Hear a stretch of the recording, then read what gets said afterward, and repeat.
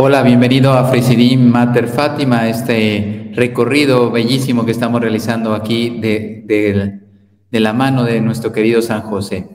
Vamos ya en, la meditación número 11, ya estamos terminando la primera etapa. La primera etapa le llamamos la vía purgativa, queríamos a través de, estos, de estas primeras meditaciones ir como desechando todo aquello que no pertenece a Dios. ¿Por qué? Porque queremos darle el espacio a Jesús y por lo tanto que nuestro corazón se vaya purificando, nuestra vida se vaya renovando y ahora sí, a partir de ahí, en nuestro Señor ya empieza a obrar. Por eso llegará un momento un poquito más adelante, vamos a hacer la confesión general, la confesión de vida, que es muy bella para muchos de nosotros. Eh, quien no la haya hecho, es una experiencia muy bella de, quitar todo, todo, todo lo que no le pertenece a Dios. Entonces, ya hemos terminado ese primer recorrido, nos ha durado 10 días más o menos, eh, aproximadamente. Y entonces ya me he dado cuenta que San José es tan puro, tan casto, tan virtuoso, que a mí me sobran cosas. A mí me sobra apegos, me sobra pecados, me sobra... Todo eso tiene que salir de mi vida, ¿sí? ¿Y para qué quedarnos eh, con ese San José que es el único que nos va a guiar en nuestra vida?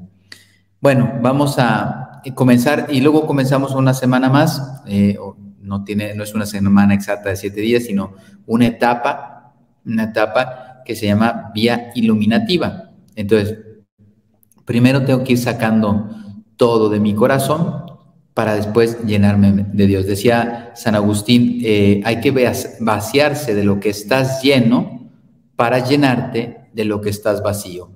Todos estamos vacíos de Dios, podemos crecer mucho más del amor de Dios en nuestras vidas, pues que vayamos dejando todo lo que no es de Dios y emprendamos un camino hacia Él. Bueno, pues hoy toca eh, como tema la vida interior y el silencio de San José. Pues vamos a pedir esa luz al Espíritu Santo para que nos vaya guiando. En el nombre del Padre y del Hijo y del Espíritu Santo. Amén. Ven Espíritu Santo, llena los corazones de tus fieles y enciende en ellos el fuego de tu amor. Envía tu Espíritu Creador y renovarás la faz de la tierra. Oremos, oh Dios que has iluminado los corazones de tus hijos con la luz del Espíritu Santo. Haznos dóciles a sus inspiraciones para gustar del bien y gozar de su consuelo. Por Cristo nuestro Señor. Amén. Dios te salve María, llena eres de gracia, el Señor es contigo. Bendita tú eres entre todas las mujeres, y bendito es el fruto de tu vientre Jesús. Santa María, Madre de Dios, ruega por nosotros pecadores, ahora y en la hora de nuestra muerte. Amén. Gloria al Padre y al Hijo y al Espíritu Santo, como era en el principio, ahora y siempre, por los siglos de los siglos. Amén. Sagrado corazón de Jesús, en vos confío. Inmaculado corazón de María, sed la salvación del alma mía. Castísimo San José, haz crecer en mí la fe, y en ella encontraré la esperanza y la caridad. En nombre del Padre, del Hijo y del Espíritu Santo. Amén. Bien, la vida interior y el silencio de San José. ¿En qué consiste la vida interior? Sobre todo en tres puntos, para que entendamos en qué nos va a ayudar San José. Primero, en vivir de Dios, para Dios y en Dios, en la pureza de corazón, huyendo de todo lo que pueda manchar, evitando toda imperfección y pecado. O sea, solo Dios debe vivir en mi corazón. Esa es la vida interior. Segundo, es un esfuerzo para sobrenaturalizar, o sea, elevar las cosas, no quedarme en la tierra, subir eh, mirando con fe todo. Los actos y obras exteriores con pureza de intención. O sea, yo obro para dar gloria a Dios, no otra cosa. Tercero, fomentar la comunicación con Dios por la oración, cumpliendo las inspiraciones divinas. Todo lo que me vaya pidiendo Dios, yo lo hago, lo correspondo y también me ayuda a tener ese contacto continuo y directo con Dios. Oh San José, aquel quien sobre quien la sombra del Padre se proyectaba densa y profunda, la sombra del Padre, o sea, San José es un destello, pero bueno, minúsculo de lo que es el Padre. Y vaya que San José es grande, ¿eh? Para que se imaginen lo que es Dios. Es incomparable con el hombre. El hombre del silencio, aquel a quien la palabra apenas toca. Bueno, no conocemos palabra. Era un hombre justo, dice el Evangelio. Diríase que este hombre envuelto en el silencio inspira silencio. Y efectivamente, es una de las grandes aportaciones, nos va a enseñar a rezar. El silencio inspira silencio alrededor de este santo. El silencio era para él alabanza, su genio, su atmósfera. Donde él está, el silencio reina. Donde San José llegaba, el silencio reinaba. Solo verle, su, hondura, su silencio, su concentración, su, su estar mirando qué más tiene que hacer para agradar a Dios, yo creo que imponía mucho, muchísimo a la gente. Esta es una, imagen muy bonito. Dicen que la experiencia es una leyenda, ¿no? Pero la experiencia de los viajeros, que cuando miran un águila, hay dos cosas muy importantes. Uno, que hay agua, ¿sí? Porque el águila está ahí buscando y no se aleja demasiado del agua. Entonces, ¿dónde está agua? Y dice, es una leyenda, este, la sombra del águila, donde está, pues, volando, ahí, ahí está, ahí hay este, el agua, ¿no? Entonces dice, escarba, donde se refleja la sombra, encontrarás agua, ¿no? Es una leyenda. Bien, pues con esa imagen aplicada a San José, donde llega San José, la sombra de su silencio nos marca, digamos, el pozo, el, el fruto de ese silencio en el corazón del hombre. Él me invita a hacer silencio y escarbo en ese silencio y brota gracia, brota alegría, brota pues todo lo que Dios nos da. Entonces, donde se proyecte la sombra de San José, el silencio no está lejos. Hay que escarbar esa arena y entonces de la naturaleza humana brotará agua viva En él el silencio es vivificante, refrescante, apaciguante, saciante. Es un silencio sustancial, de sustancia, o sea, denso, grande, profundo. No es accesorio, peregrino, pasó, no, no, es un silencio que transmite. ¿eh? Y precisamente donde pasaba la sombra de San José, proyectaba ese silencio. ¿sí? de una forma profunda, pura, brotaba de lo más hondo de la, de la naturaleza humana. De él ya lo vivía, pero de, quien estaba con él brotaba también el deseo de vivir en silencio. Entonces, una de las condiciones para vivir la vida religiosa, pero también si quieres ser santo, una de las condiciones así, sine qua non, es el silencio. Si tú haces silencio en tu vida, después los frutos brotarán del corazón. En cambio, cuando no hacemos silencio, estamos buscando las cosas de fuera para que nos entretenga, porque no, no sacia mi corazón, pero al menos estoy buscando un entretenimiento.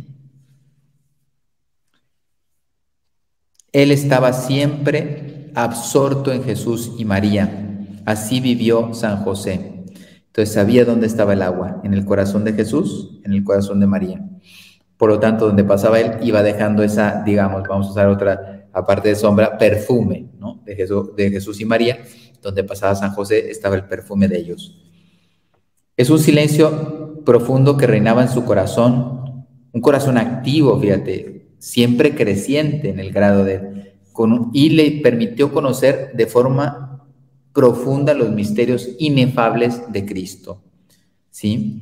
Él estaba abstraído en las perfecciones infinitas que veía en su hijo y a imitación de su hijo en María, ¿no? Entonces, San José, el primer religioso del mundo, porque él vivió el silencio como un, como un religioso, como un consagrado. Entonces, el ejemplo está clarísimo. También vivió una vida llena de fe, esperanza y caridad, las virtudes teologales, como no las iba a eh, eh, vivir y una vida de oración y actuaba en él fuertemente los dones del Espíritu Santo. Entonces el padre Llamera ahora nos va a hablar un poquito cómo vivió dos regloncitos, no abarca para nada la riqueza de San José, pero con esos dos, eh, por cada don del Espíritu Santo, son siete dones, pues una palabrita pequeñita que nos haga comprender la riqueza de San José. Primero el don del entendimiento, que va a la inteligencia. Dice, este, este don purificó y perfeccionó su fe. O sea, la purifica de, imagínense las dudas, no tuvo dudas con lo de María, que si estaba embarazada, ¿cómo, cómo era posible? Si es una santa mujer, ¿cómo, cómo puede pasar algo así en ella? Y no, no lograba entender. Y la fe fue madurando también conocimiento profundo y esclarecido y exacto de los misterios y verdades sobrenaturales, para entender los misterios y el íntimo sentido y la conveniencia de que fueran así. ¿Por qué se encarna Dios? Así conviene. No, yo no lo entiendo. Bueno, San José sí lo entendió porque tiene una fe fuerte, profunda, no como Dios lo entiende, pero sí mucho mejor que nosotros, cualquiera de nosotros. Y sobre todo, dice, los dos misterios que más, eh, digamos, penetró es la encarnación y la pasión, la redención divina en la cruz. Entonces, imagínense. Don de sabiduría. Recuerden que el don de sabiduría fecunda la caridad. Ya se pueden imaginar la caridad en San José. Perfecciona la caridad, el conocimiento afectivo y experimental admirable y suavísimo de esa unión íntima que está presente en mi alma con Dios. ¿sí? Eh, y así por amor juzga todo lo demás y lo ordena, lo transforma desde lo más eh, profundo de sí mismo en Dios. ¿sí? Ordena las cosas. Una, una persona que viva en Dios, en vez de poner caos, división, pone orden, paz, tranquilidad, etc. El don de ciencia eh, es un completo perdón, este don completó su conocimiento y su juicio eh, de todas las cosas humanas. Le capacita para juzgar con certeza lo que debería obrar en cada situación. Fíjate, no se equivocó, San José no se equivocó, porque la gracia estaba con él. Y cómo debería utilizar en orden a Dios y a su aprovechamiento sobrenatural cada una de las obras, ¿sí?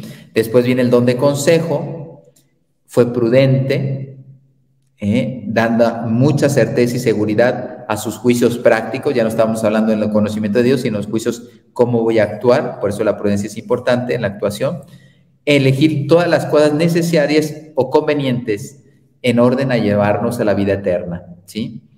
Y juzgar casos concretos difíciles o inesperados, pero siempre obrando con confianza y decisión. O sea, una sorpresa, un accidente, ¿qué hago? Pues una persona prudente rápidamente se pone a actuar. No me puedo cruzar de brazos, no me voy a poner a llorar. Hay un accidente, yo tengo que actuar y tengo que resolver ese problema. ¿sí? Un juicio práctico, práctico. El don de, de piedad, perdón,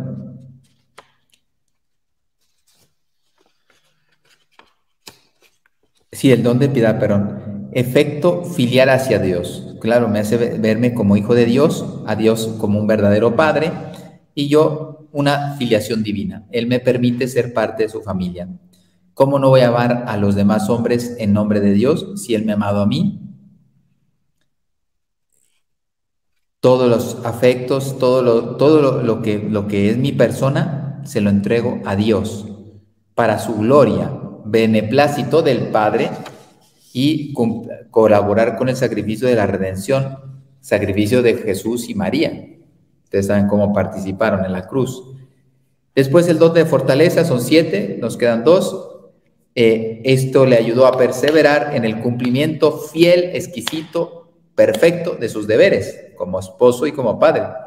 Siempre seguro de que la ayuda divina no le iba a fallar. Oye, voy a Egipto, no tengo nada, pero no me van a fallar sentir gozo en Él, en, las, eh, persecuciones, porque eso es cristiano. Si nos persiguen es una, honra. Y esperando el Señor siempre la recompensa. Aquí en el mundo, aunque no me recompensen, yo lo seguiré haciendo. Y por último, el don del temor, que significa estar sometido siempre a Dios, una filial reverencia, ¿eh? no temiendo el pecado y reconociendo mi pequeñez ante la excelencia y majestad divinas. Gracias que nos eh, ayuda, nos fortifica, ¿no? Y por último, recuerden que si algo caracterizó a San José, la abundancia de gracia y caridad. Siempre estaba adornado, él no cometió pecados tampoco.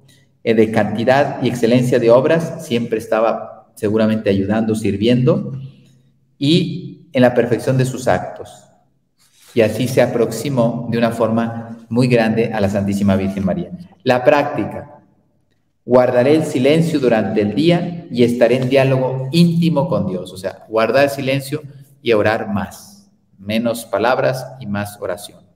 Bien, con esto nos vamos en esta meditación y nos vemos mañana, primero Dios. El Señor esté con ustedes y con tu espíritu. La bendición de Dios Todopoderoso, Padre, Hijo y Espíritu Santo, descienda sobre ustedes y permanezca para siempre. Amén. Que Dios les bendiga. Hasta mañana.